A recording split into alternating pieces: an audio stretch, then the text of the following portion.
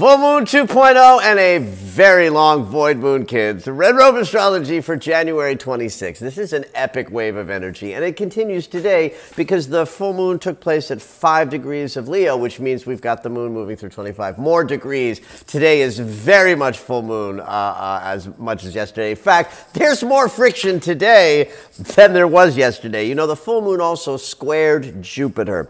I didn't talk about that in my article yesterday. I wanted to focus on Venus and Jupiter in a trine, the hopeful geometry. Besides, the Sun and Jupiter peaks today.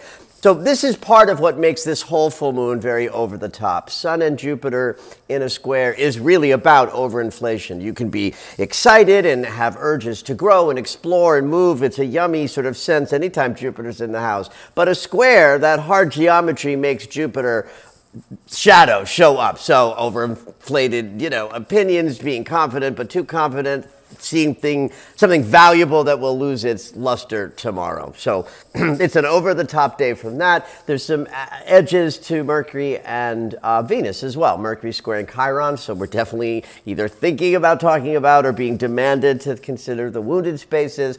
Venus in a sesqui square with Uranus is also a tiny bit over the top. Intense social excitement, unusual displays of feeling, unconventional behavior, a little bit of rebellion in the heart. Now, these two transits aren't particularly rough on their own, but put them together with a sun square Jupiter, you've got a very over the top day, kids, and it's a full moon. And that full moon will hit a void at 1:19 p.m. that will last till 11:11 tomorrow.